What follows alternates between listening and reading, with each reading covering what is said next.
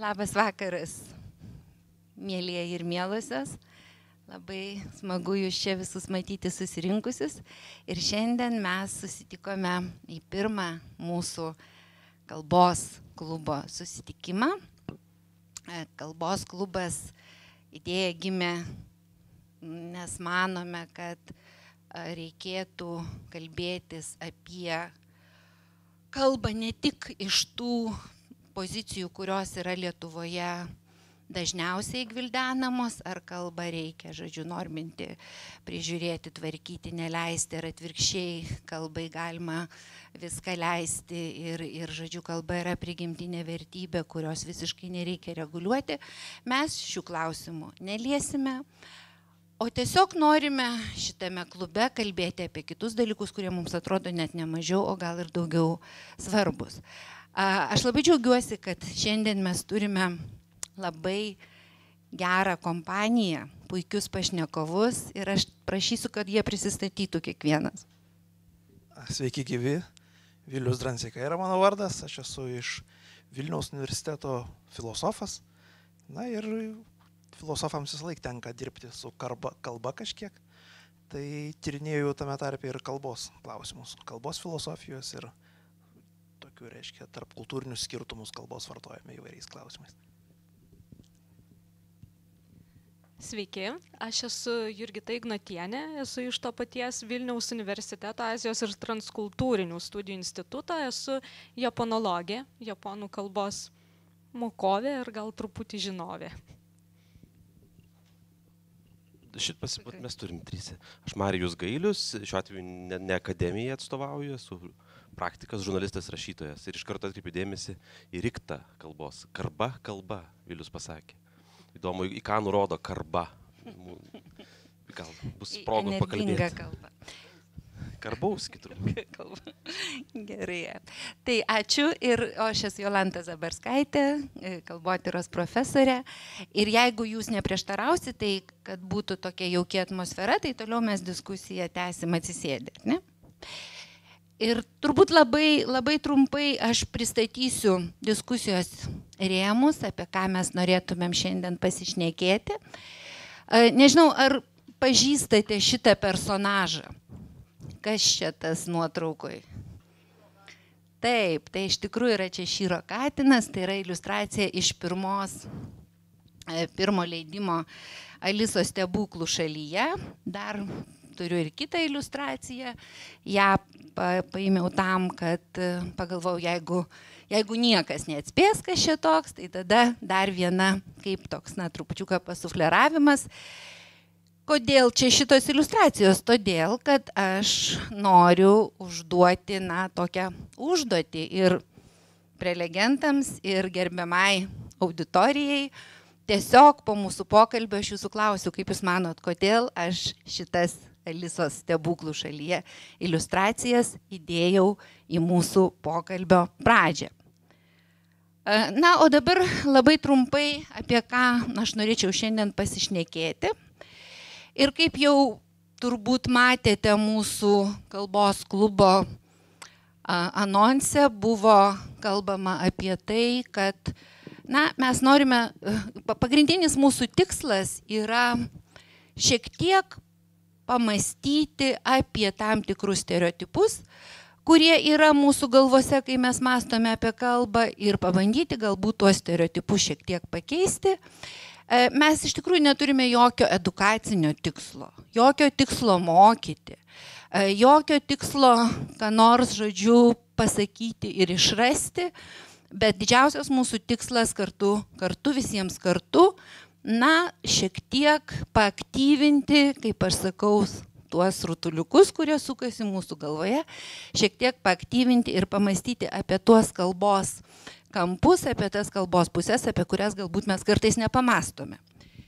E, tai iš tikrųjų, jeigu mes žiūrėtumėm į mokyklą, jeigu mes žiūrėtumėm taip, kaip mus mokė mūsų lietuvių ir kitų kalbų mokytojai, mes tarsi buvome išmokyti, kad svarbiausia ir pagrindinė kalbos funkcija yra komunikacinė tai iš tikrųjų ir kažkaip išleisdavome iš akių tai, kad vis dėlto tam, kad mes galėtumėm komunikuoti, tai mes turime pirmiausiai pavadinti, arba įvardinti, arba suteikti vardą viskam, apie ką mes komunikuojam. Tai yra tai visai informacijai, e, kurią mes dalinamės. Ir tam iš tikrųjų mes ir turime kalbą, kurią išmokstame ir kurią paskui visą gyvenimą tobuliname. Tai vadinasi, kad kalbos paskirtis yra pavadinti pasaulį arba pasaulius. Kalbotyroje mes tai vadiname referencinę kalbos funkciją. Taigi mano pirmas klausimas, taip kaip ir buvo žadėta, apie pasau lėvoką, kitaip sakant, kaip kalba pavadina pasaulį. Kitaip sakant, ar pasaulio suvokimas priklauso nuo to, kokia kalba jis yra pavadinimas. Na, pirmiausiai, tai diskusijai noriu užduoti tokį klausimą. Kalbą mes suvokiame kaip tam tikrą labai sudėtingą, tiksliau kalba, kaip mes suvokiame, kaip mes suprantame žodį, tai yra sudėtingas labai psichofiziologinis procesas, kuris virsta, vyksta akimirksniu, kiekvieną akimirką, nes kiekvienas žodis, kiekviena informacija pakliūna į labai sudėtingą ryšių tinklą, semantinių ryšių tinklą, kuris yra mūsų galvoje. Mano klausimas, tie ryšiai formuojasi, juos mes pradedam formuoti tada, kai išmokstame kalbą, kai pradedame pažinti pasaulį, o paskui mes pradedame, tobulindami savo pasaulį, mes tuos ryšius plečiame, o kurdami savo pasaulį mes kūrėme naujus ryšius, semantinius ryšius. Tai mano klausimas pirmas toks ir būtų. Ar tie ryšiai semantiniai ryšiai, kurie sujungia visą mūsų kalbinį pasaulį, kurį mes turime kiekvienas, yra unikalūs kiekvienoj kalboj, ar jie yra universalūs. Tai šito, nuo šito aš ir pradedu. Aha, tai labai didžiulis klausimas yra ir turbūt teisingas atsakymas kaip ir į daugelį klausimų sakykime, lingvistikoje, psichologijoje ir kitur, kur eina kalba apie kultūrinį universalumą ir kažkokį kultūrinį specifiškumą tarp kultūrinius skirtumus, yra, kad, na, abi pusės yra iš dalies teisios. Visą laiką galima aptikti kažkokių panašumų ir galima aptikti įdomių skirtumų įkiais.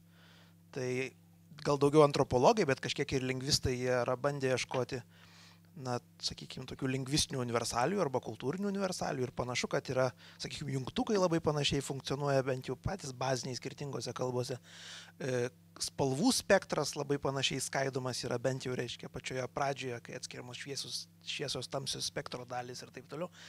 Ir galima rasti daug visokiausių tokių panašumų, kurie iš dalies turbūt susiję ir su tuo, kad, na, žmogaus fiziologija ir netgi ir aplinka didelė dalim panašiai yra kad ir kur tie žmonės gyventų, bet yra užregistruota ir įvairiausių daug skirtumų, kurie patys skirtumai iš savęs jie turbūt labiau patraukia dėmesį, tai tada jie gal, na, yra pernelyg sureikšminami, nes, aišku, įdomu aptikti, kad štai skiriasi kelios kultūros kažkurio aspektų. Taisykiais galima, na, nekritiškai pradėti manyti, kad tų skirtumų baisiai daug yra, bet e, jų rasti, na, nėra taip lengva, jeigu kažkas randa dar vieną, tai tas paprastai yra nuskambantis dalykas, reiškia, gali gerą straipsnį publikuoti ir taip toliau, o užregistruota yra kuo įvairiausių, kuo įvairiausiose srityse. Tiek nuo, sakykime, spalvų įvardinimo, ta pati, sakykime, lietuvių kalbos spalva rožinė, jinai daugelėje kitų kalbų jinai būtų įvadintų, pavadintų spalvas, kurios patektų po dviem labai skirtingom kategorijom tokia, reiškia, pavyzdžiui, angliškai pink ir rose, tai tikrai niekas nesakytų, kad tai yra ta pati spalva lietuviškai. Jos patenka bent jau pačiam tokiam paprasčiausiam vardinimui po tuo pačiu, po tuo pačiu žodžiu. Arba, pavyzdžiui, sakykime, lietuviškas žydra mėlynas, žydra mėlyna, skirimas jisai anglų kalboje neturi, neturi atitikmens. Gali būti skirtumai ir įvairūs kitokie, reiškia, E, įvairios asociacijos su objektais dažnai yra susijusios, sakykime, su gramatinė giminė objekto įvardinama. Tai pavyzdžiui, kaip poezijoje bus rašoma apie menulį arba saulę, didelė dalim priklausys nuo to, kokios gramatinės giminės yra vyriškos ar moteriškos, sakykime, konkrečioje kalboje, sakykime, menulis, Ir tada kokios asociacijos žmonėm kils, galvojant apie menulį, priklausys štai nuo tokių lytinių stereotipų, sakykime. Kokius stereotipus toje kultūroje susiję žmonės su, su vyrais ir moterimis. Na ir būtų galima daugiau tokių vardinti pavyzdžių kažkokių ir pasakyti, ko yra daugiau skirtumų ar panašumų, na nieks turbūt neturi tokios metrikos išradę, kad galėtų, galėtų įvardinti. Tai šito, šito atsakymo aš nežinau ir turbūt nieks nežino, ko yra daugiau. Kad yra to ir to, tai tikrai taip.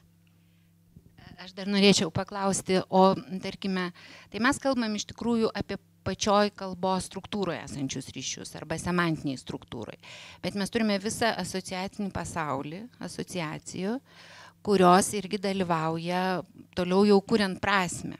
Jeigu mes kalbam apie reikšmę ir apie prasme, tai va čia kaip pačiam atrodo, ar, ar iš tikrųjų, ar kiek čia skirtumų, kiek tokių universalumų, kurie, na, susiję su, su taip sakant, su, nu, pavadinkim, su gyvenimo būdu, su istorija, su kitais dalykais.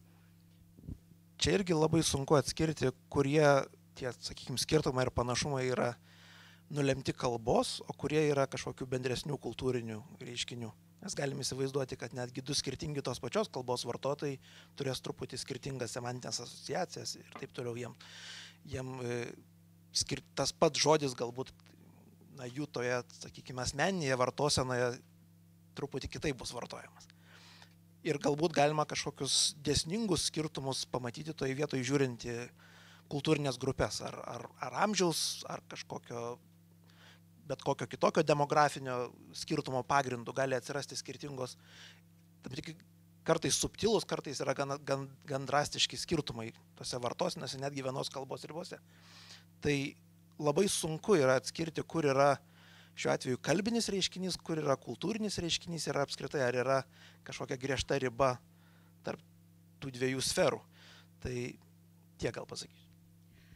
Na, dabar Mariaus klausiu. Iš tikrųjų, kaip, kaip mums atskirti tą kalbinį ir kultūrinį reiškinį ir kas čia yra kalba, ar čia yra mediatorius, ar čia yra tam tikras irgi elementas, kuris gali, gali įtakoti tos kultūrinius reiškinius.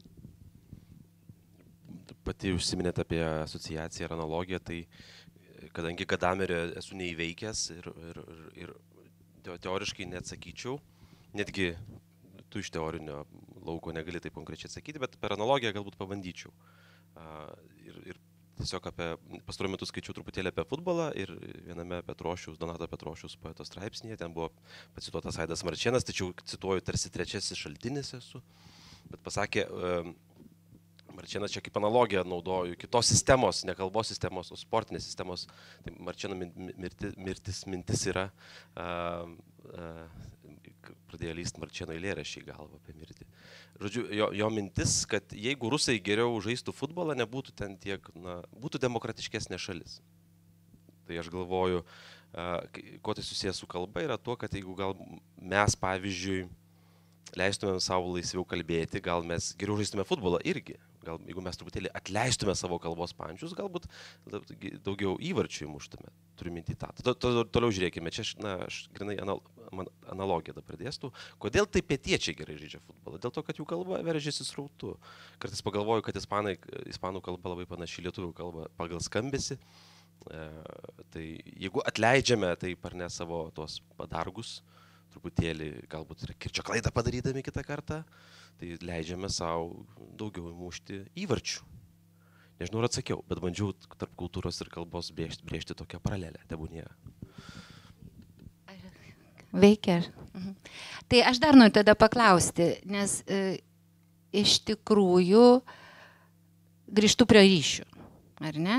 Mūsų kiekvienas žodis įsimerkia mūsų galvoje į labai sudėtingą ryšių sistemą, kuri iš dalies yra tai kalbai visiems bendra, iš dalies individuali, čia labai sunku at, at, atrasti ir atgaminti ir niekada netrasi. Ir ačiū Dievui. Ir pasakysiu, kodėl ačiū Dievui, todėl kad esu įsitikinusi, kad dabartiniais laikais, o mes gyvenam copy-paste laikais, kai viską įmanoma nukopijuoti, tai turbūt yra tik tai du dalykai, kurių neįmanoma nukopijuoti. Tai yra semantika, nes tu niekada nežinai, kuriame tam mūsų galvoje esančių ryšių vietoje atsiras žodis ir su kuo jisai tuo metu susijungs ir vanduo. Tai aš manau, kad tai, kad mes turime tą visą ryšių sistemą, kuri nuolat juda, nuolat keičiasi, mes e, galime turėti, na, vilčių, kad būsime kūrybingi ir kad mes galėsime kurti naujus dalykus, o ne tik tai kopijuoti ir generuoti tai, kas jau buvo sukurta. Tai mano klausimas, e, Marijau, tau, tai va tie, tie ryšiai, kur, kaip Vilius sakė, vieni, vieni visiškai unikalūs, kiti universalūs, tie unikalūs ryšiai, kiek jie yra svarbus ir vertingi, ar juos reikia specialiai kreipti dėmesį, ar, ar tiesiog leisti jiems būti ir, ir žodžiu, ir, ir šito, šito dalyko visiškai neaktualizuoti. Semantiniai ryšiai, vėlgi, kalbėsiu tik iš patirties, man atrodo unikalūs. Pat, pats ar ne, tas leksinis ligmuo, tai jisai labai lengvai pakeičiamas, bet kaip ir, čia nežinau, referentas tik tu žodis ar, ar signifikantas. Žodžiu, tas, nu, leksika, kur, at, nu, ar net spinti tą mintį. Žodis, kuris turi mintį, tai yra sem, tas semantinis mano mintis, ar ne? Uh, tai jisai kažkokiu vis tiek yra unikalus. Taip, tai yra apie būti, tai yra apie sielą, ar ne apie tautos dvasę, ar apie ką. Greičiausiai. Uh, nes, bet ir kodėl ir mes tarsi tos sielos arba dvasios dažnai neužčiuopiam arba praleidžiame pro, kaip pro orlaidę ar ne šildymą. Tai to įsitikinau vėlgi iš praktikos, vesdamas laidą per žinių radiją apie kalbą, tiksliau apie kalbą mokykloje, o tema buvo pagal žurnalo reitingai, ten tam tikrą ta, tas ar ne, tos reitingus, kur ten yra kaip išmoksta lietuvių kalbos, biologijos ir pasižiūrėjau, kad VBA, lietuvių kalbos išlaikomumas Lietuvoje yra kelios mokyklos, tai yra licėjus ir kelios gimnazijos išlaiko puikiai mokiniai vidutiniškai, paskui krenta, krenta ir dramatiškas kritimas yra. Tai tema buvo, ar mes nemokame lietuviškai kalbėti, ar ne, nemokame gerai išlaikyti egzaminą, nes kitų egzaminų rezultatai yra pakankamai neblogi. Tai pagal tą temą mes diskutavom ir skambino labai daug klausytojų, ten yra laida su klausytais ir visi jie kalbėjo tik apie klaidas realiai, apie na, iš principo leksinio ligmens problemos. Jiems yra visi skambintojai, tai kodėl čia kirčiavimas ne taip, arba ten žodis netoks vartojamas žodis, ar taip skritai yra problema, nes nu, tai nesu semantika susiję. Tai, tai man atrodo, tas tautos balselis, kuris buvo, ar ne, man atrodo, va, tai ir ateina iš mokyklos, kažkoks fet, leksikos fetišas, arba klaidos fetišas, bet apie tos pačius ryšius, kaip Jolantas sakot, tai tikriausiai per mažai kalbama. O, o toks visiškai konkretus pavyzdys, e, e, dėl ko ryšiai yra svarbus ir man atrodo, aš save šiek tiek apvagiau, tai atsitiko dar, dargi vėlgi vienas pavyzdys, su broliu čia bendravome neseniai. Ir aš norėjau, žinau, kad tik paskui supratau, kokią reikšmę turėjo minti, minties, na, žodį, kokį norėjau pasakyti. Tai kai mes greitai kalbėjau, tai pasakiau, ar jinai turi kokiu nors demedžų tiesiog man automatiškai, visiškai savaime pasakiau žodį damage, nes man semantiškai jis buvo artimiausias ir aš galvoju tada, ką turėjau minti. Aš neturėjau minti sužeidimo, ar aš turėjau minti sužeidimą, ar aš turėjau minti sužalojimas, neturėjau minti sužalojimo. Tada supratau, ką turėjau minti po kurio laiko, kad aš turiu minti žodį žalą. Tai aš taip save apvogiau, pasakė, užuot pasakęs puikų lietuvišką žodį žala, mielai ir skambantis ir man atrodo pakankamai semantiškai aukštos įkrovos, pakeičiau kažkokį uh, svetimžodį. Damage'as beje irgi neblogas, bet, bet žala geresnis už damage'ą. Apie, jeigu apie svetimžodį. Mūsų kultūroje. Apie svetimžodį tai visiškai trumpai tokiam atsipalaidavimui, kai aš paskaičiau, žodžiu, kad sovietmečių mūsų tėvai nors neturėjo treningų, bet vis tiek ten kažkaip auklėjo, gebėjo auklėti vaikus. Ir mane ištiko toks šventas pasipiktinimas, kaip treningų, tai turėjo treningus. O supratote, apie ką kalbama? Apie treningus. Žodžiu, tėvai nebuvo mokomi auklėti vaikus, bet vis tiek mokėjo auklėti. Tai vad, kuo mes labai ir džiaugiamės. Bet dabar čia tas tokia, na, vėlgi mūsų semantinėje sistemoje ir mūsų asociacijų laukia labai kontroversiškas buvo vienas žodžių junginys, kurį pasakė Marijus kalbos dvasia. Tai va, aš dabar laukiu Viliaus reakcijos, ką jisai apie tai pasakytų, yra, nėra. Nu, čia turbūt reikėtų aiškintis, kas, kas turimo omenyje tą pasakant. Nes tai buvo metafora. Tai, tai va, ir jeigu tą metaforą mes išverstume nebe į metaforinę kalbą, o į tiesioginę, kalbą, tada būtų turbūt galima pradėti aiškintis, kiek čia tiesos tame yra, ar ne, kas čia turime omenyje. Kaip metafora, na, kaip ir bet kuri kita metafora. Jis tiek, tiek naudinga, kiek, kiek konkrečiame momente leidžia, leidžia kažką pasiekti komunikaciniam žaidimui. Na, jeigu kalbėti Iš tikrųjų, jeigu kalbėti apie metaforas, tai man atrodo, dabar mes kalbam apie pasaulievoką, bet kita mūsų, dar kitas klausimas pasauliekūra, ar kalba ir pasauliekūra, pasaulio kūrimas susijęs. Tai man atrodo, kad dabartinė pasauliekūra yra metafora. Dėl kad kas yra metafora? Metafora tai yra, jeigu mes sakom, kad pasaulis yra įvardyjamas žodžiais, kai pasaulis yra sudėtingesnis negu paprastas žodis, kaip etiketė kokiam nors daiktui reiškiniam ar kam nors mums reikia metaforų. Ir dabartiniai laikai yra absoliučiai metaforizuoti. Tik aišku, na, Vilius turbūt sakys, čia tiesiog poetinė metafora, bet ar iš tikrųjų taip yra? Ar yra vis dėlto kažkokia specifinė kalbos kuriamoji gale, kuri susijusi būtent su ta nacionalinė kalba ir su jos patirtim? visų pirma, tai turbūt ar tikrai šie laikai yra kažkokie labiau palankus metaforom negu bet kurie anksčiau buvę laikai. Nyčia kažkada yra sakęs, kad apskritai kalba yra negyvų metaforų kapinės. Bet kuris žodis jis kažkur per metaforinį perkeliamą radosi iš kažkokių ankstesnių sukalkėjusių metaforų ir taip toliau. Tai čia yra nuolatinis toks kūrybinis procesas e, naujam kontekstams apibūdinti na, išsirenkamų kažkokių kalbinių formų, kurios kartais būna na, įsigali tiek, kad pasidaro atpažįstamos ir, na, sakykime, labai plačiame areale. Ne? Nebūtinai tiesiog mano asmeninis kažkoks kūrybinis sprendimas, kur aš kažkurio metu pokštą sakydamas ar kažką panaudojau netipiškai kalbą. Ir kai kuriais atvejais tas gali išplisti sakykime, tas netipiškas pavartojimas pasidaro dominuojantis ir štai mes turime naują žodininę reikšmę žodžio ar, ar, kažkas tokio įvyksta. Dabar, ką, ką visame šitame procese padeda papildomai paaiškinti koks nors kalbėjimas apie kalbos logiką, kalbos dvasę ar, ar dar kažką, man niekad nebuvo, niekad nebuvo aišku, nes aš niekad turbūt nesu matęs, na, kad kas būtų pabandęs popieriuje išguldyti įtikinamai, kasgi, kasgi tai per daiktas turėtų būti, ką jis turi padaryti, to, ko nepadaro bet kurios kitos kalbos dvasia. Humboldtas ne. Ne, jis tik, nu, taip sakant, nepatenkina šiuo atveju. Gerai, bet iš tikrųjų mano klausimas dabar jau einam, einam prie to, to vieno iš dviejų mūsų klausimų, kuriuos mes E, kuriuos mes šiandien keliam, tai vis dėlto e, vėliau, tai pasaulio suvokimas ar priklauso nuo to, kokia kalba pasaulis pavadinamas dar kartą? Panašu, kad priklauso. Iš dalies, Mariu. Koreliuoja ir apsprendžia šiek tiek taip.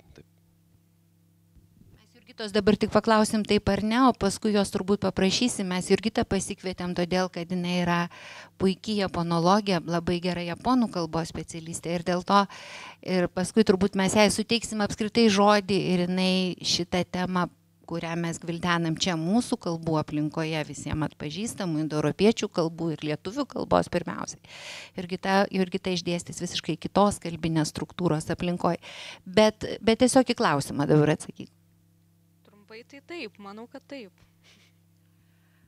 Tai tada einam prie kito mūsų klausimo, bet iš tikrųjų noriu šiek tiek akcentuoti. Jeigu iš tikrųjų kalbos pasaulio suvokimas priklauso nuo, kalb, nuo mūsų kalbos, taip kaip mes ją suvokiame, mes, mes patys tą turime suvokti. Nes kartais iš tikrųjų vėlgi grįžtų prie funkcijų, grįžtam prie tos paprastos komunikacinės funkcijos, mes čia tik komunikuojam ir visa kita čia mums visai nerūpi, o jeigu pamatytumėm, kad matom taip, kokia yra mūsų kalba, tai mes paprasčiausiai sukurtumėm savo vaikams ir savo mokiniams ir savo studentams gerą skaitimo strategiją. Nes kuo tu labiau turi geresnį tą tinklą, geresnį instrumentą savo galvoje, kuo turi daugiau ir įvairesnių ryšių, tuo tu geriau supranti pasaulį ir gali jo naudotis, o iš kur dabar tu tą, tą instrumentą, kaip tu jį tobulinsi, kaip tu jį plėsi. Nu, kol kas nėra kito būdo, tik skaityti. Ar yra, kaip manot, vėliau, kalbos instrumentą plėsti? Na, galima tiesiog imtis šito reikalo pačiam, jeigu tu jautiesi, kad kažkurioje srityje na, gali tokių inžinierinių savo projektų atnešti naudos, sakykime, įvesti skirti, kurios reikėtų, kad kažką svarbaus pasakytum ir taip toliau. Ir tą mokslininkai daro, tą rašytojai daro, tą daug kas daro turbūt. Jie turi kažkokią mintį, įsivaizduoja, kad gebėjimas tą mintį e, išreikšti tokiu būdu, kad, galėtų būti, leng, kad tas būdas būtų lengvai komunikuojamas, yra vertingas dalykas, tai mes turim tam priemonių. Tai terminijos kūrimas viena iš priemonių yra tą daryti. Tai tu gali perskaityti kažkieno kito pasiūlymus, gali, gali pats juos pasiūlyti. Tai ne vien perskaitimą turbūt. Tai iš tikrųjų, Mariu.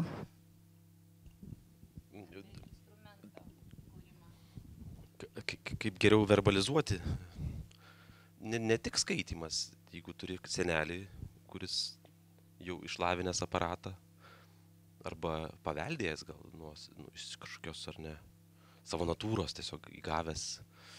Tai galima ir iš senelio, man atrodo, aš savo senelės irgi kažkiek perėmiau to aparato, nes, nes man sunku atsakyti, iš kur moku kalbėti realiai. Jūs galite atsakyti, nes mokykla tai ką žinai, ar ten labai išmoko kalbėti su savo taisyklėm. Taisyklių išmoko, bet nekalbėti. O tai taisyklės yra dėja gerokai kas kita negu kalbėti. Nežinau, kaip dabar mokykloje, gal truputėlį laisviau, bet abejoju. O šiaip be abejo, nu, skaitimas tas pats, ar ne, čia apie kultūrinius skirtumus, e, jeigu kas nors skaitėte Laimonto Jonušę verstą debesų atlasą, tai galėtumėte palyginti tą vidurinį skyrių su Davido Mitchelo originalu, kur yra sukurta tokia naujakalbė ir kaip Laimontas Janušys iš, išranda su savo vertimo gebėjimais e, visiškai vieną lietuvių kalbos dialektą, kuris egzistuoja tik knygoje štai jisai, jisai pats jam ir sukūrė kalbą. Tai yra tiesiog fantastinis žaidimas. Ir, ir aišku, kelis pirmus puslapius skaitant nieko nesupranti, bet tada štai tam turiniui perteikti yra puikia kalba, puikus instrumentas. Ir jisai gyvas, nors jis tiesa gyvena tik knygoje, niekas jo nepradės kaip kokio esperanto čia masiškai vartoti, bet, bet prašom, geras pavyzdys. Tikrųjų, aš labai pritariu, žaiskime su kalba ir kuo daugiau, ir kuo, nes jinai yra tokia erdvė puikiai žaidimui. Kūrybiniam žaidimui, atsipalaidavimo žaidimui, spalvų žaidimui ir kai, kai, žaidi, kai žaidi, gali labai rimtus dalykus iš to gauti. Tai iš tikrųjų, sutarėm, kad kalba ir aš labai džiaugiuosi, nes vėliau šiek tiek nuomonės bijojau, kad vis dėlto pasaulyje voka ir kalba yra susijusios. E, ir dabar eikime iš tikrųjų prie kito mūsų klausimo. O kaip yra, kokie, koks yra santykis pasaulyje kuros. Ir aš kalbu ne apie e, kalbinę pasaulyje kurą, ne apie metaforų kūrimą, nors apie tai mes irgi galim pasikalbėti, ne, ne literatūrinio pasaulio kūrimą, bet apskritai apie materialaus pasaulio kūrimą. Kiek šitoj vietoj veikia ir dalyvauja kalba. Na, aš manau, kad iš tikrųjų neatsitiktinai 20 e, amžiaus apie 60 metus ar nerortis pasakė, kad yra lingvistinis posūkis ir kad e, perkonstruojant kalbą galima išspręsti filosofinės problemas. Bet filosofinės problemos iš esmės tai yra gyvenimo projekcija, tai yra realybės, realybės projekcijos e, sprendimo būdai. Tai manau, kad jisai turbūt iš tikrųjų nujautė miglotai, kad, kad kažkaip kalba pradės vis labiau veikti mūsų realų gyvenimą ir taip ir atsitiko. Kai atėjo virtualybė, kai, kai, kai susijungia materialusis ir virtualusis pasaulis, tai yra idealusis pasaulis, idėjų pasaulis susijungia virtualiame pasaulyje, atsitiko dalykai, kurių iki tol, na, nežinau, nebent mano kolegos paprieštaraus, kurių nebuvo. Čia aš labai tokį paprastą pavyzdį visada sakau ir, ir savo studentam, kad ne tam, kad nori gaminti batus, nebereikia nei fabriko, nei, nei žodžiu, nei, nei, nei, nei kažkokio ten, nei parduotuvės, kad juos pardavinėtum, reikia kompiuterio ir geros idėjos tam, kad batus pirktų. Todėl, kad tau batus pagamins fabrikete, nežinau, kokioje nors vienoje šalyje, dizainas bus dizaineris, kitas sukurs ten kitoje šalyje, priekiautų vėl galėsi visam pasauliu, tau nebereikia materialių priemonių, bet idėja tampa labai svarbi ir tada pradeda atrodyti, kad apskritai kalbos vaidmuo labai išauga. Ir jis išauga paradoksaliai. Jisai išauga tada, kada mes galime komunikuoti jau nebe kalba, o vaizdais internete, ar ne, ir komunikuojam, koks nors Instagramas ir panašiai, žinutė siunčiama vaizdu, atrodo, kalbos vaidmuo turi uh, sumažėti, sumenkėti, o jisai didėja. Ir didėja vėlgi dėl tos pačios semantikos, dėl to, kad na, ne, ne, nebūna taip, kad tu vaizdo nesemantizuotum.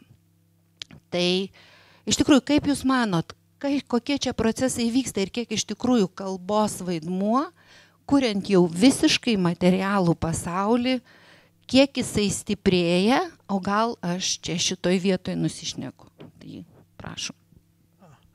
Tai aš, man atrodo, jau du kartus sakiau tokį dalyką, tai trečią kartą dar pasakysiu, kad e, vėlgi turbūt kalba niekada nebuvo nesvarbi ir e, kalba struktūravo žmonių ir patirtį, ir e, kaip jie išgyveno pasaulį ir taip toliau. Daug dalykų, kurie yra centriniai žmonių gyvenimams daugelie kultūrų, na, jie yra kalbiniai reiškiniai didelė dalim arba tokia kalba medijuota patirtis, kokie religiniai išgyvenimai ir taip toliau.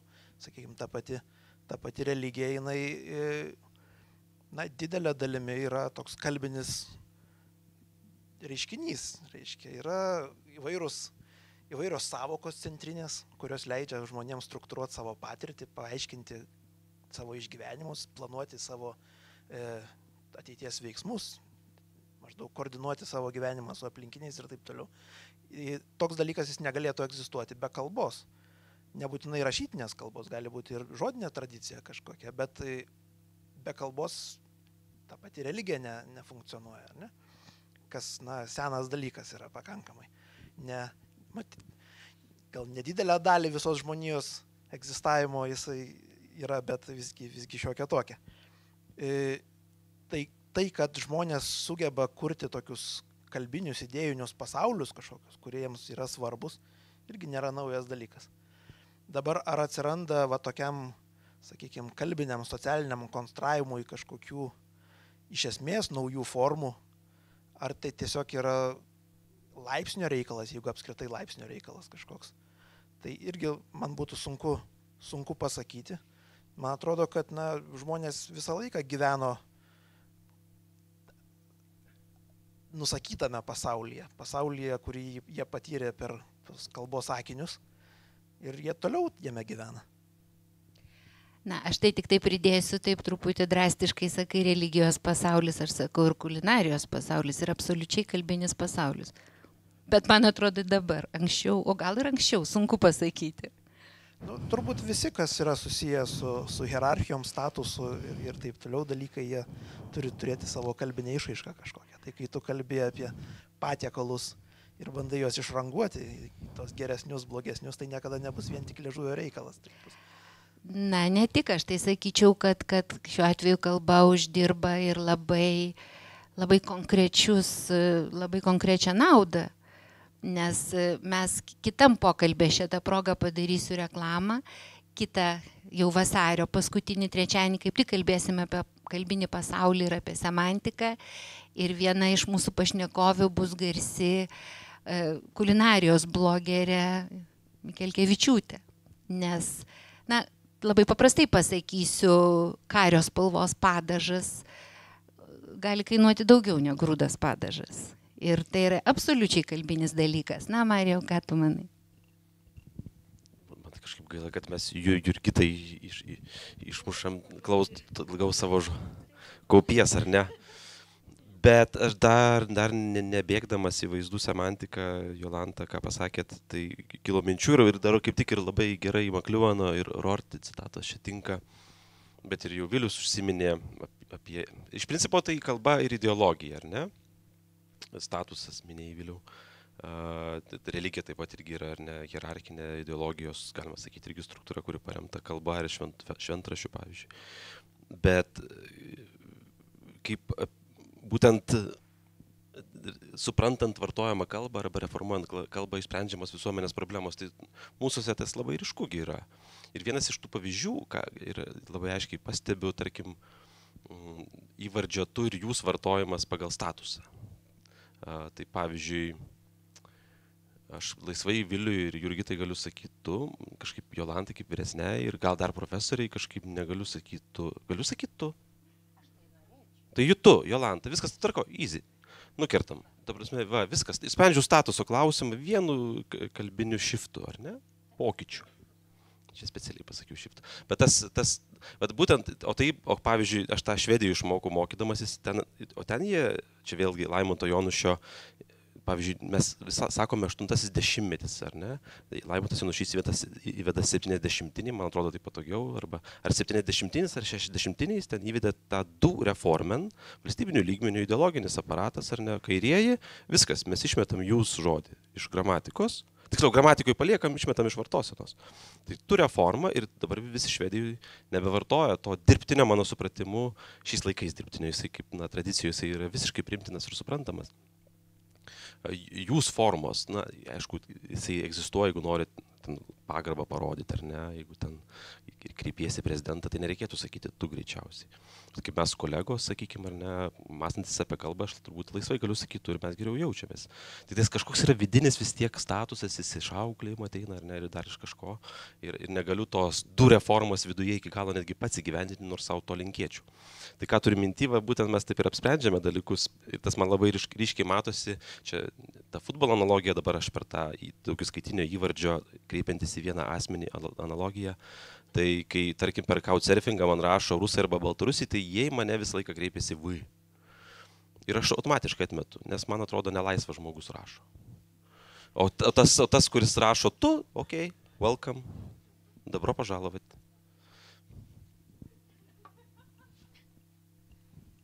Taip, iš tikrųjų, jeigu, jeigu mes kalbėtumėm apie tai, kaip, žodžiu, kaip pasaulis veikia kalba ir kalba pasaulyje, yra erdvė, kur visi vieni kitiems sako tu ir iš pradžių man truputį rėžė ausi, bet aš paskui labai greit pripratau. Kaip spėkit, kurie erdvė, kūrybinė, kultūrinė erdvė Vilniui? E, nu, iš dalies taip, Rupertė. Rupertė yra uždraustas. Nu, gal neuždrausta, bet pagal tokį neraštą susitarimą visi vieni kitiems sako tu. Tai čia iš tikrųjų labai daug turime tokių dalykų ir vyriškos giminės vartojimą, kai, kai kreipiniuose ir kaip tos pačios moteris sako, nu kam čia sakyt brangiai ir brangiosios, taigi čia labai ilgai ir čia labai ir mūsų ta pati struktūra tada labai iš tikrųjų išsitėse, bet, bet tie dalykai iš tikrųjų veikia. Bet aš dar kartą noriu, žodžiu, paklausti jūsų jau ir, ir tada jau eisime mes į tą japonišką pasaulį. Paklausti, tai vis dėlto, ar sutinkat, kad kalba gali būti visiškai gera ir, ir materialaus pasaulio kūrimo priemonė. Naujų dalykų, naujų gerų, ryškių dalykų kūrimo priemonė. Vėliau materialaus gal ne visada, bet real, realaus, tai taip. Tai ne bet kuri realybė yra materiali. Matyt, sakykime, pinigai, jų piniginė vertė vis tiek yra nekyla iš jų, iš jų materialios vertės, ne, ne popieriaus tai vertė, o kažkas kitas. Tai yra labiau ant pasitikėjimo santykių visuomenėje, kur tiki, kad tas papirėlis bus išmainytas į paslaugas ar, ar taip toliau. Tai dabar ar čia yra materialus procesas ar kažkoks nematerialus, bet vis tik nemažiau realus turbūt procesas, atskiras klausimas. Tai tikrai kalba kuria labai daug, labai daug įvairiausių realių pokyčių mūsų gyvenimuose. Tai sutik, sutinku į realų pasaulį, ir, ir, ir, bet tai jeigu instrumentiškai žiūrint, tai vis tiek ne institucijos tai turėtų daryti, ne VLKK, ne LKI, tai nėra tyrėjai, tai tiek to. Bet ir, ir ne inspekcija, o kalbėtojai be abejonės mes. Tai mes galime keisti ir tikrovę tada taip. Man dar atrodo, kad tai iš tikrųjų labai yra svarbu mums patiems na, suprasti, būtent ne valka, ką turi pasakyti, ne inspekcija, o mes kiekvienas turime suprasti ir pasižiūrėti, kaip tą galima padaryti, tiesiog pasimti, na, atsitraukti nuo kalbos. Kodėl? Tol, kad kalba yra duotybė mums, na, kaip, vis, kaip ir viskas, ką mes gaunam savaime, mes mažai vertinam. Čia toks yra gyvenimo, na, banalus bedėsnis. Ir už tai nepasižiūrim, ką mes turime. Ir jeigu mes atsitrauktume ir pamatytumėm, kiek ten yra, kiek ten yra turto, kurį galima panaudoti tam, kad kurtum, na, gerovę, plačiaja prasme, ar ne? Tai, tai tikrai to yra labai daug, bet na, mes to nelabai įpratę daryti ir nemokome to mūsų jaunų žmonių. Ir tikrai, jeigu, jeigu taip jau grįžti prie futbolo, puikiai šiaip jau, puikiai analogija, tai, tai na tikrai visi svajojam ir, ir, ir kiek anegdotų apie mūsų neigiamą, žodžiu, neigiamą patirtį nuolat šitam futbolo laukia. Ir jeigu mes tikrai rastumėm, na, galėtumėm išbandyti tą laisvą raišką, nesukaustytą raišką, kad negalėtų ateiti ir iki futbolo, tai būtų puiku, dar, dar jeigu Eurovizija, dar visi kiti mūsų tie, tas, tas mūsų, reiškia, luzerinis elementas. Tai, na, iš tikrųjų būtų puiku. Tai prie ko aš vedu? Aš iš tikrųjų šio pirmo sustikimo tokį, na, kaip ir apibendrinimą pirmos mūsų dalies, tai aš norėčiau tikrai, na, jūsų visų paprašyti, pagalvokite apie tai. Komunikacinė funkcija yra, taip jinai yra, be jos niekur mes nedingstame, bet jinai yra labai linijinė ir labai, na, labai jau išsemta. Jos visos galimybės yra, na, savaime suprantamos ir išsemtos. Pagalvokite apie kalbos būdą įvardinti pasaulį ir svarbiausia apie kalbos galimybės, apie kalbos sugebėjimą, apie kalbos potenciją kurti pasaulį. Kalba yra, na, iš tikrųjų turi labai stiprią kūrybinę funkciją ir ne tik kaip tekstų, ir ne tik kaip kalbinių pasaulių, bet kaip ir kitų realaus gyvenimo, kaip Vilius sakė, pasaulių, pasaulių kūrimo funkcija. Tai, o dabar aš perdodu mikrofoną kantriai tylėjusi Jurgitai. Ir mums tikrai labai įdomu pa, pa, pa, pasiklausyti, kaip ten kitoj, visiškai kitaip uh, uh, sudėlioto ir egzistuojančio ir, ir, ir gyvenančio kalboje vyksta. Čia dabar kažkaip savo viena sėdėjau ir galvojau, kad kažkas čia visai neseniai yra pasakęs, kad nu, Lietuva, kas čia, taigi iš tiek ėjo čia vi, visi vieni per kitus čia fronto liniją, tai aš dabar čia, kai tas mikrofonas taip migravo, tai galvoju, o, nu matyt, aš čia kaip Lietuva dabar jaučiuosi fronto liniją, tik eina, aš čia nieko dabar dar negaliu daryti. Tai ši buvo be galo įdomu, be galo įdomu klausytis uh, pokalbio vietom norėjosi ir, ir, ir pareplikuoti, tuoj visą dėmesį vėl skirsiu e, jums. E, ne, net nežinau dabar, kaip pavyks visus siūlus suraišyti ir, ir kaip pavyks um, atsiplėšti nuo to, kas buvo pasakyta ir pasakyti, gal net ir nepavyks, šiaip labai, labai įdomu buvo apie religiją. Ir čia net buvo viena skaidrė, kur mes labai gerai žinom iš Biblijos pasakymą, kad pradžioje buvo žodis.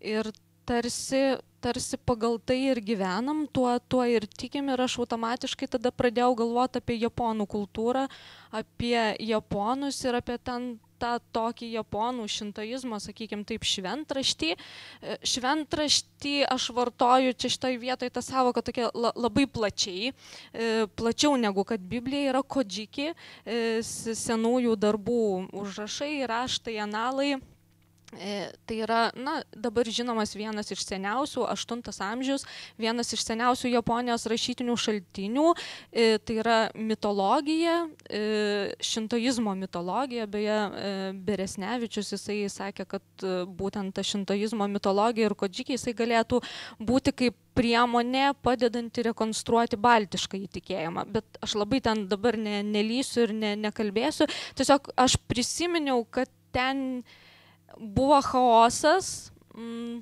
buvo daug jovalo, purvo ir viso kito, bet žodžio nebuvo. Ten maišė, darė, niurkė, kūrė, ėjo aplink stulpus ir, ir, iš, ir į kitą pusę sukas ir, ir, ir vėl į priešingą. Žodžiu, bet žodžio nebuvo. Kiek aš galiu atsiminti, žodžio nebuvo. Tai man tiesiog, va, tas užstrigo, buvo įdomus pamastymas ir čia, nežinau, vėlesniem, e, tolimesniem laikam irgi pamastyti yra įdomu, galbūt žodis kaž, kažkur kitur buvo, kažkaip kitaip jisai užšifruotas. Bet tiesiog. Kitas dalykas e, buvo kalba apie tu ir jūs. Ir e, automatiškai pradėjau galvoti apie japonų kalbą, kaipgi yra japonų kalboje su tuo tu ir jūs e, yra žodis anata, kuris reiškia tu, bet kuris iš esmės yra vengtinas. Tai yra aš net ir mūsų būryje, kalbėdamasi su jumis, kaip, kaip, kaip su kolegom, sakykim taip, aš negalėčiau į jūs kreiptis anata. Tai yra tu, nes tai yra nemandagu. Aš turėčiau kreiptis vardu, su mandagumo priesaga san, arba turėčiau kaip pagar, pagarbą išreikšdama kryptis į jūs jūsų užimomis pareigomis, statusu, dar kažkuo. Žodžiu, e, lenkiu prie to, kad japonų visuomenė yra e, visiškai, na, tokia vertė vertikali visuomenė, kur, kur yra aukštas, šiek tiek žemesnis, dar žemesnis ir žemiausias. Ir kalba iš esmės, na, irgi tą visą sandarą tarsi atspindi, ne, nežinau, gal ne pats tinkamiausias žodis, bet, bet kalba parodo labai aiškiai tą visą vertikalę visuomenę sąrangą. Tai ne tik tai tas žodis tu, kuris negalėtų būti vartojamas e, šiaip normaliai aplinkoje, net ir kasdieniai kalboje, net ir tarp, tarp draugų, yra išskirtiniai kontekstai, kur tas žodis galioja. Kita vertus yra kal, skirtingi kalbos registrai. Yra moteriška kalba, vyriška kalba, yra mandagi kalba, yra formali kalba ir yra neformali kalba. Yra mandagi kalba su e, specialus žodynas, specialios gramatinės formos, kuriamis aš kalbėsiu su imperatorium, yra specialios formos, su kuria, kurias naudodama aš galėsiu kalbėti, na, su šiaip visais aukštesnio rango pareigūnais, su visais gerbtinais e, žmonėmis.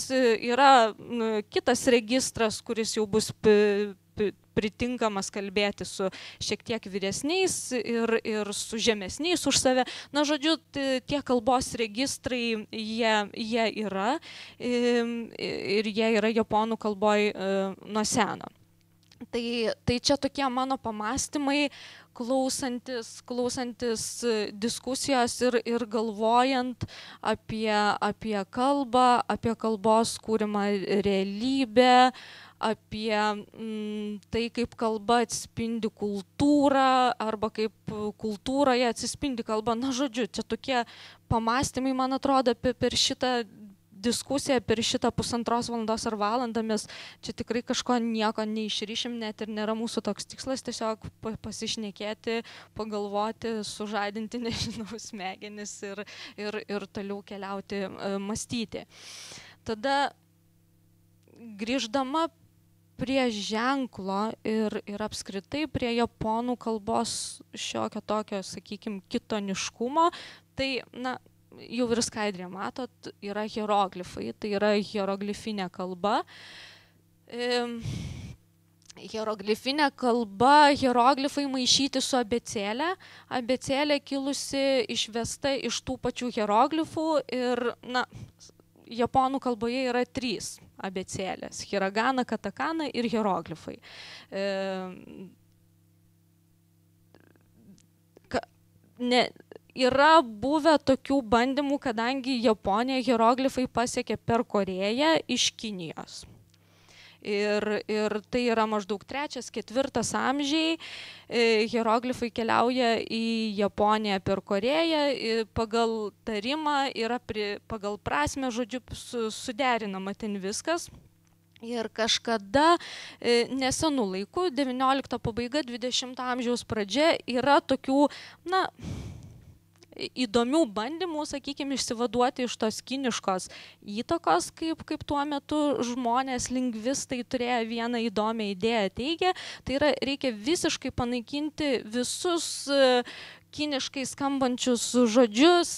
Žodžiu, reikia laikytis vien tik tai tokios japoniškos linijos, nes, nes yra, e, žodžiu, japoniški žodžiai, vago ir yra kango, tai yra kiniški žodžiai, e, yra tam tikros darybos taisyklės, kanonas ir visa kita, na tai žodžiu, mes tą visą didžiąją su Kinija, e, su kinų kalbos tarimu šiek tiek daugiau mažiau susijęsią dalį išmeskim ir naudokim vien tik tai, na, japoniškus e, žodžius tuos vago. Tai žodžiu, šitas eksperimentas visiškai nepavyko ir aš labai džiaugiuosi ir, ir japonai irgi labai džiaugiasi. Kitas eksperimentas buvo beje, ką korejiečiai padarė, jie visiškai perėjo prie e, na, hangul, tai yra ten ta abecėlė, jinai atrodo kaip hieroglifai, bet tai yra abecėlė ir hieroglifus jie iš savo gyvenimo eliminavo, dabar liko tik tai vardai ir pavardės, biurots, dar ten kažkokie miestai uh, užrašomi. Tai uh, iš esmės įdomu yra tai, kad japonų kalboje irgi buvo norėta išmesti visus hieroglifus, kad čia sunku mokytis, kad čia prisiminti.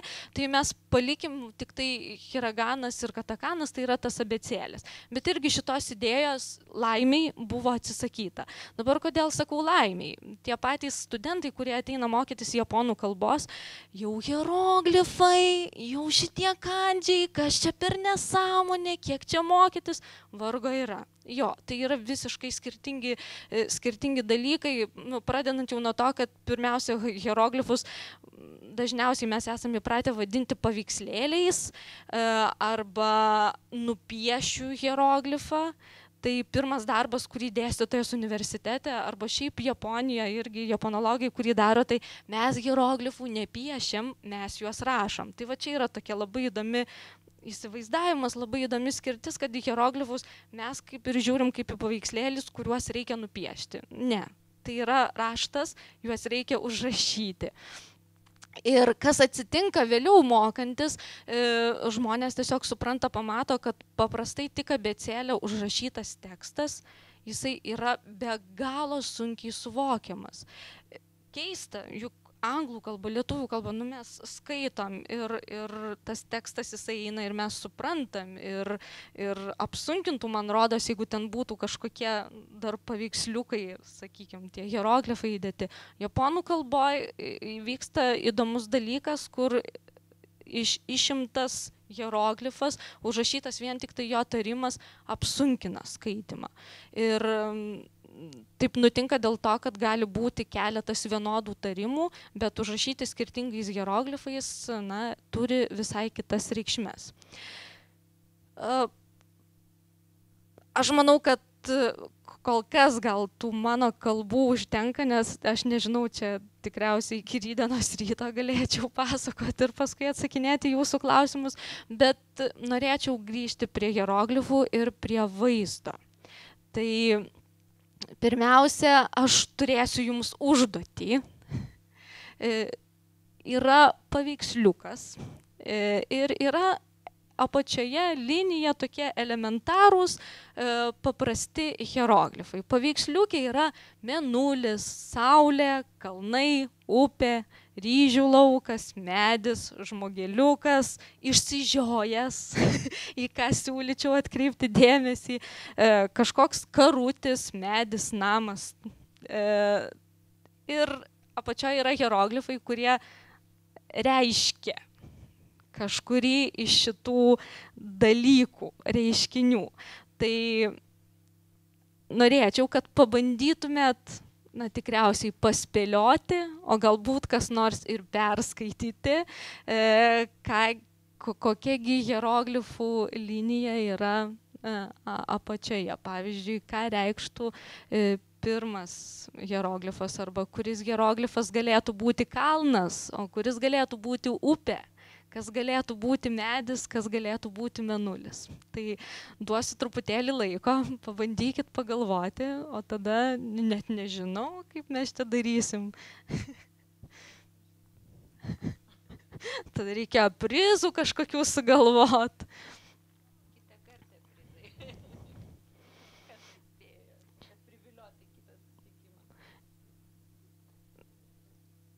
Tai sakykit,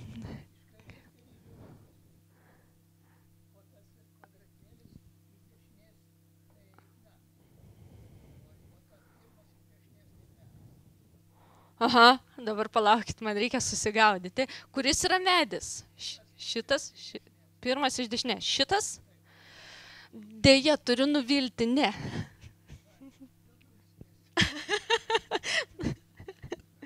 Galima. Žmogus arba tas, kur ma mažiausiai elementų toks ketvirtas arba, arba prieš prieš paskutinis. Kažkuris medis, kažkuris žmogus iš šitų turi būti. Taip, iš ketvirto prieš prieš, prieš paskutinį. Abu, vienas iš jų medis, vienas iš jų žmogus, taip? A, tas žmogus gal dvikojus, o medis kur daugiau šakų? Atspėjau? Taip. E, labai žmogus toks išsiskėtęs, tai jisai ir, ir, ir žmogus čia medis. E, gal galėtumėt pasakyti, kurisgi jūsų manimų yra e, Saulė ir Menulis? Per vidurį saulė, taip, per vidurį yra saulė, na, akivaizdu, net paveikslėlį yra kažkaip panašiai nupiešta, o kas galėtų būti menulis? Antras iš dešinės, su pusėm yra šitas, ne, ne šitas menulis yra. Trečias iš kairės. Čia yra laukas, taip, čia yra ryžių laukas.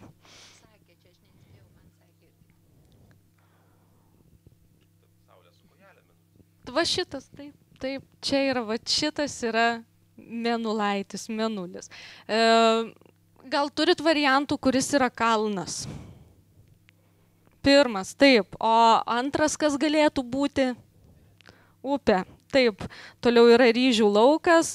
Na ir paskutiniai, na, paskutiniai, kurgi ta, ja, šitas ir, ir tas kvadratukas, kas čia? Taip, mašina, tai yra karutis, mašina, automobilis, o prieš paskutinis gal turit variantų, kas tai galėtų būti?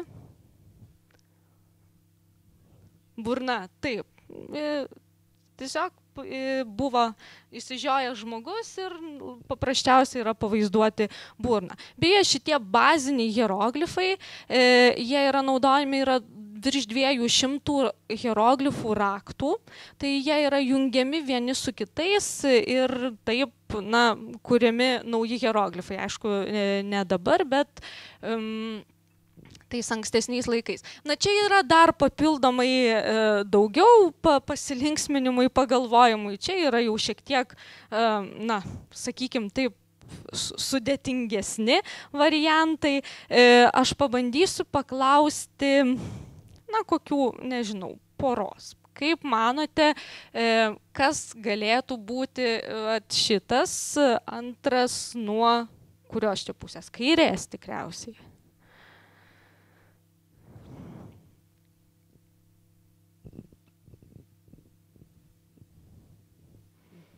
Čia vėlgi tai, taip, kas. Nu, taip, moteris, moteris. Iš esmės, na, moteris yra susisukusi į kimono ir toks kaip truputėlį kokonas ir ateina moters e, hieroglifas. Tai tada dar paklausiu e, per, per vidurį, per patį vidurį, ten ketvirtas iš, iš kairės arba penktas iš, nežinau, ketvirtas iš dešinės, penktas iš. E, Kas, kas ten galėtų būti? Sunkiai kažkaip čia. Va šitas.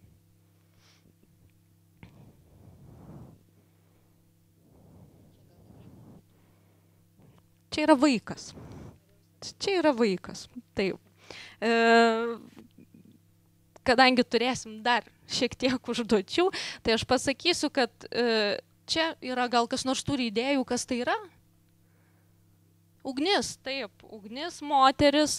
E, šitas galbūt yra šiek tiek sudėtingesnis, jisai ateina iš kalno, kuriame kažkas žyba. Tai yra auksas arba dabar šitas hieroglifas yra naudojamas kalbant apie pinigus. Tiesiog pinigai. E, šitas hieroglifas iš daigų dykstančių, tai yra aukti ir jisai naudojamas gimti, gimdyti, aukti, auginti įvairiausių. E, žalės dar gali būti, tai yra neapdorotas. E, čia, kur yra vaikas po stogu, tai yra mokytis. Nes tai ateina iš na, japoniškos architektūros, rytietiškos. Toliau yra žemė ir šitas yra vanduo. Tai, iš, tai yra baziniai elementai, kurie e, egzistuoja, veikia kaip e, žodžiai atskiri, kaip, kaip e, atskiri hieroglifai ir jie yra naudojami lygiai taip pat kaip sudėdamosios sudėtingesnių hieroglifų dalys. Aš įsiterpsiu, tai čia irgi te buvo pasaulyje voka labai aiški, paveiksliukas ir, ir, ir pasaulis, o dabar pasaulyje kurą trupučiuką, ar ne, kaip su, sulipdom, taip, dar, sulipdom hieroglifus ir ką gaunam. dar, dar toks tarpinis variantas, ar ne vėlgi kaip, e, kaip na, tokios jau la, labiau si- simbolinės, nežinau, prasmės yra sukūriamos, tai yra viršus, apačia, vidurys. Štai trys hieroglifai, kur viršus yra viršus.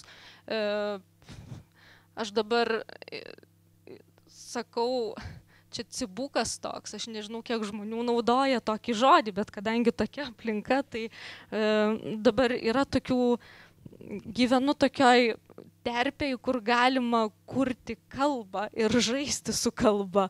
Tai, tai naudoju cibukas. E, apačio, va čia yra apačia. Tiesiog noriu parodyti, kad kažkas yra po, o per vidurį vėlgi e, kažkas yra per vidurį. Lygiai taip pat e, yra iš medžio atsiranda knyga, toliau kažką keliame per pusę, tai reiškia pusę, toliau turime kardą, kuris kerta kažką šaką, tai turime mm, dalinti, kirsti, pjauti, kirpti ir visus kitus žodžius, kurie tą reiškia. Ir čia turim jėgą, jėga, kuri ateina iš raumeningos rankos. Na ir dabar kursim pasaulį. E, vėl tokios truputėlį pa- pamastymui, kūrybai. Kaip jau, vėlgi tai yra realūs, kasdieniai kalboj, rašte visur vartojami e, hieroglifai, e, simboliai ir ryžių laukas ir jėga. Kai sudedam, ry, kai į ryžių lauką įvedam jėgą, ką mes galėtume gauti. Tai yra, ką galėtų reikšti tas mėlynas hieroglifas. Ne. Nederlius. Ne. Mm, Ne, ne darbas, žinokit. Tai, tai turėtų būti kažkoks subjektas. Taip. Ta, žmogus, bet jau, jau arčiau, jau arčiau. Ne visai artojas, vad vyriška giminė vis kažkaip aplink tą sukasi vyras. Pasak, tai vyras, tai yra vyras. Tai yra otoko vyras. Žmo, žodžiu, jėga ryžių laukia. Tai yra kas dirba pagrindinius darbus laukia, nu tai vyras, fizinė jėga. Uh, Dar turėsim ir moterį su vaiku, bet truputėlį luktelkit. Pirmiausia, pažaiskim su medžiais. Ką turim, kai sudedam du medžius į vieną krūvą ir ką turim, kai sudedam tris medžius į vieną krūvą. Miškas, taip, kuris bus miškas? Su dviem medžiais. Ne, ne sodas, o, o didesnis negu miškas. Gyrė. Taip. E, Iš dviejų medžių yra miškas, iš trijų medžių yra gyrė. Aš įterpsiu tą patį semantiką. Giria irgi didesnė už mišką, daugiau medžių. Taip. Nu va, da, taip daugiau medžių. De, ki, dėja varianto iš keturių medžių jau nėra. Beje, dar atsimenat, buvo mašina ten toks e, įdomus hieroglifas. Mes galim, turim atskirą vieną hieroglifą, kuris yra sudarytas tokiu pat principu kaip geriai iš trijų medžių. Tai yra variantas iš trijų mašinų sudėta, trys mašinos į vieną hieroglifą ir tas hieroglifas e, reiškia dardėti, bildėti, garsiai skleisti kažkokius labai garsius, e, čaižius garsus. Tai žodžiu, sudedam tris mašinas, tris vežimus į krūvą ir gaunam triukšmą, bildėsi, dardėsi arba lygiai taip pat e, veiksmažodžius. Gerai, o čia turim moterį su vaiku. Tai kai moterį sulipdom su vaiku, ką gaunam? Ne.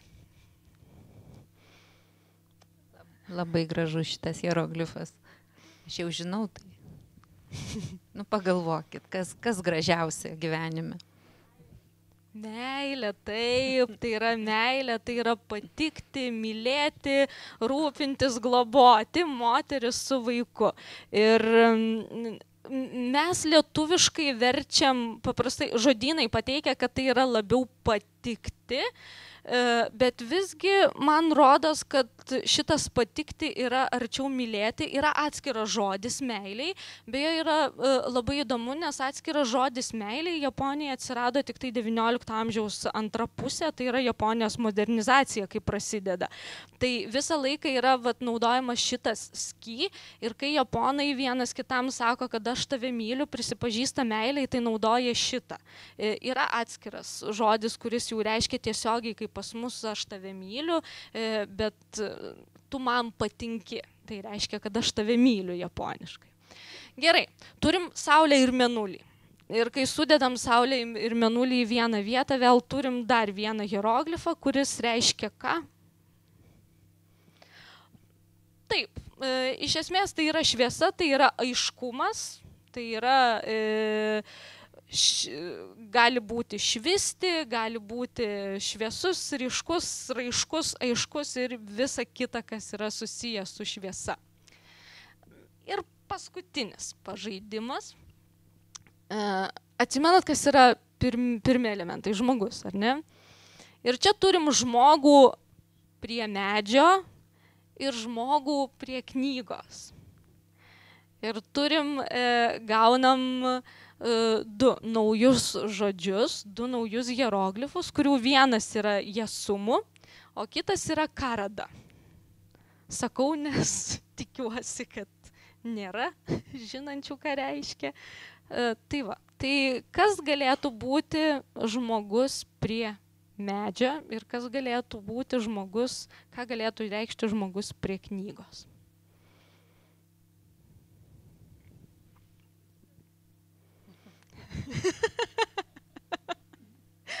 Čia yra idealas. ne visai.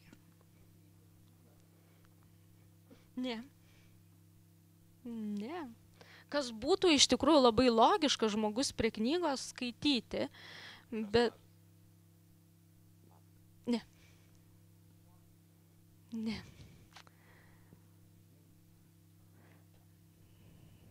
Net nežinau, kaip čia dabar kokių, vad protas jau kažkur labiau į tą pusę, šilčiau. Išmintis? Ne. Tai yra mąstymas. Ir nemastymas, tai yra toks fizinis kūnas. Jau ir pasakiau, tai yra žmogaus kūnas žmogus prie knygos yra žmogaus kūnas. Bet kas yra žmogus prie medžio? Čia jau yra veiksmažodis, pasufleruosiu, veiksmažodis, veiksmas, kažkoks veiksmas, pasyvus, sakykime, veiksmas. Iš dalies taip.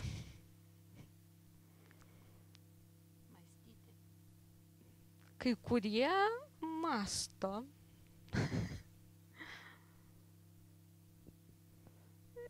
Gali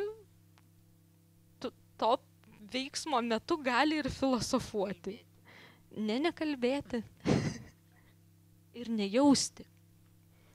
Ogi ilsėtis, taip atsirėmus prie medžio yra ilsėtis.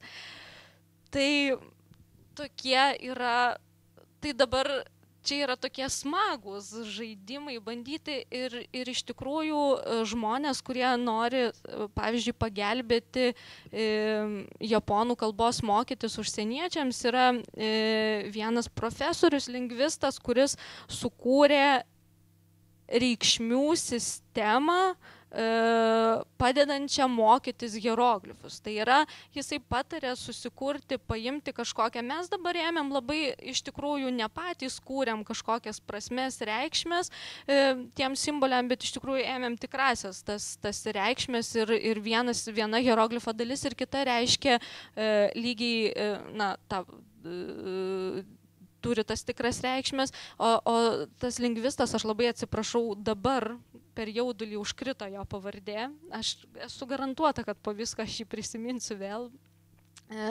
jisai sako, kad galima iš tikrųjų, kaip palengvinti prisiminimą, tai yra išskaidyti kiekvieną hieroglifą, čia dar yra pakankamai nesudėtingi, išskaidyti kiekvieną hieroglifą dalimis ir tada kurti istorijas apie tuos hieroglifus ir taip juos prisiminti.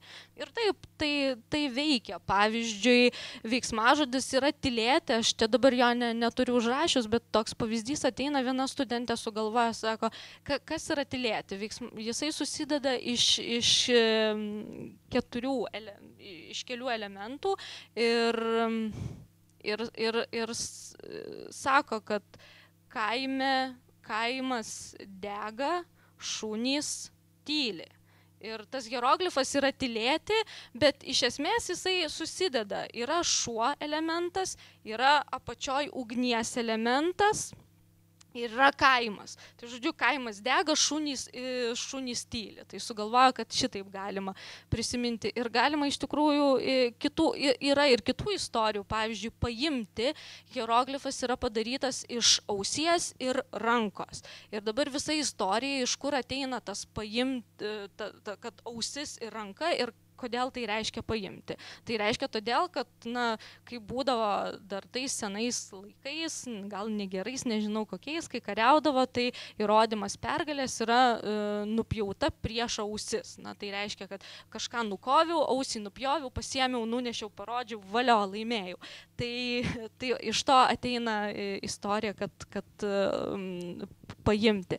Tai žodžiu, tas toks kūrybinis e, e, e, elementas japonų kalboj, žaidžiant su hieroglifais, na, aš tai vadinu žaidimu. Na, tai, tai yra, man tai yra smagus užsiemimas.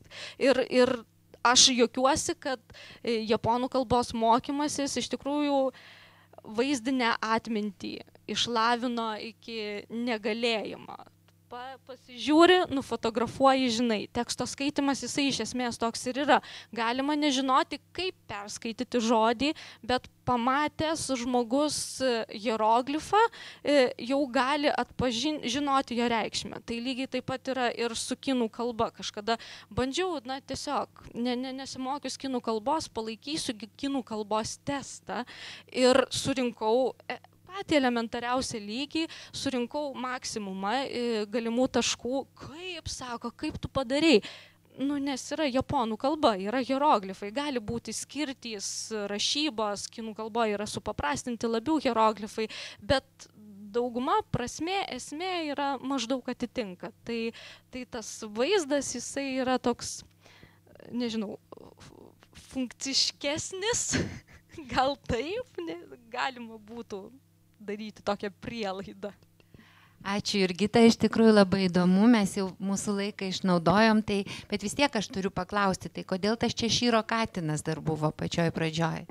Kaip Jūs manot, ką jisai galėtų reikšti šitam kontekste? Na, visų pirma, turbūt e, kalbos, kalbos, tarp kalbos filosofų, kaip apie kitų e, kalbinių pasaulių konstravimą, Alisos autorius Levisas yra žinomas, bet iš tikrųjų ne todėl. Čia Šyro Katinas tai yra iš Alisos pasaulio, kuriame yra sukonstruotas, žinot, Alisos pasaulis sukonstruotas ir ten tame pasaulyje žodžiai įgauna visiškai kitas reikšmės, nes viskas veikia pagal kitą logiką. Ir čia Siro Katinas taip pat, o ką jisai, jisaigi išnyksta ir lieka jo šypsena.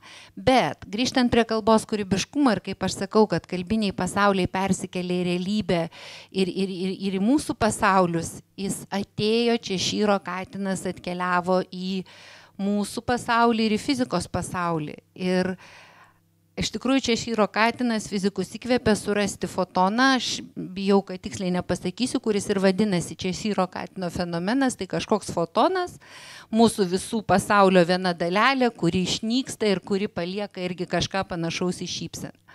Tai čia tiesiog buvo toks pavyzdys, kad na, tie alternatyvūs kalbiniai pasauliai su savo alternatyviom reikšmėm, semantika gali ateiti į šitą mūsų pasaulį ir kaip, žodžiu, kaip kūrybiškai mes galime na, naudotis, naudotis kalba ir, ir įvairiais kalbos, įvairiom kalbos sistemom. Tai ačiū visiems dar kartą, ačiū pašnekovam, ačiū visai mielai auditorijai.